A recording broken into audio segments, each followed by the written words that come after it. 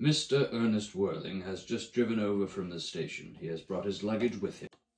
Mr. Ernest Worthing before the Albany time. Uncle Jack's brother.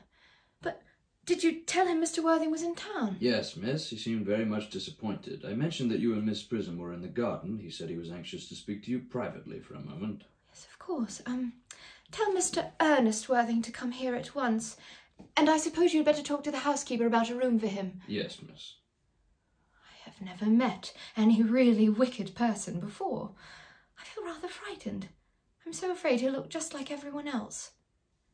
He does. You are my little cousin Cecily, I'm sure.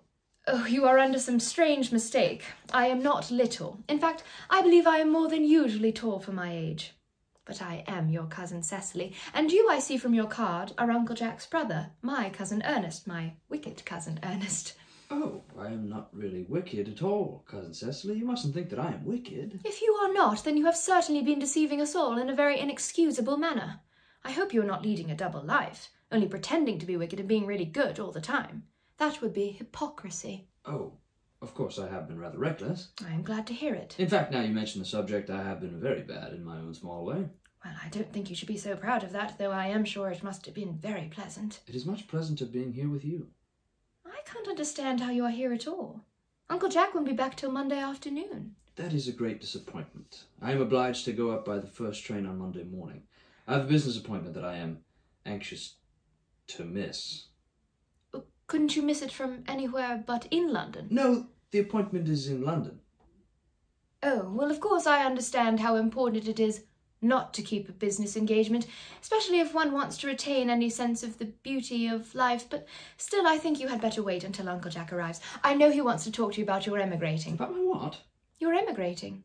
He has gone up to buy your outfit. I certainly wouldn't let Jack buy my outfit. He has no taste in neckties at all. Oh, I don't think you will require neckties. Uncle is sending you to Australia. Australia? I'd sooner die. We said at dinner on Wednesday night that you would have to choose between this world, the next world, and Australia. Oh, well, the accounts I have received of Australia and the next world are not particularly encouraging. This world is good enough for me, Cecily. Oh, yes, but are you good enough for it? I'm afraid I'm not that. That is why I want you to reform me. You might make this your mission, if you don't mind, Cousin Cecily. Well, I'm afraid I've no time this afternoon. Well, would you mind my reforming myself this afternoon? Oh, it is rather quixotic of you, but I think you should try. I will. I feel better already. And yet you are looking a little worse. That is because I am hungry. Oh, how thoughtless of me! I should have remembered that when one is going to lead an entirely new life, one requires regular and wholesome meals. Won't you come in? Thank you. Might I have a buttonhole first? I never have an appetite unless I have a buttonhole first. A Maréchal Niel? No. I'd sooner have a pink rose. Why? Because you are like a pink rose, Cousin Cecily. I don't think it can be right for you to talk to me like that. Miss Prism never says such things to me. Then Miss Prism is a short-sighted old lady. You are the prettiest girl I ever saw. Miss Prism says that all good looks are a snare. They are a snare that every sensible man would like to be caught in. Oh, I don't think I would care to catch a sensible man. I shouldn't know what to talk to him about.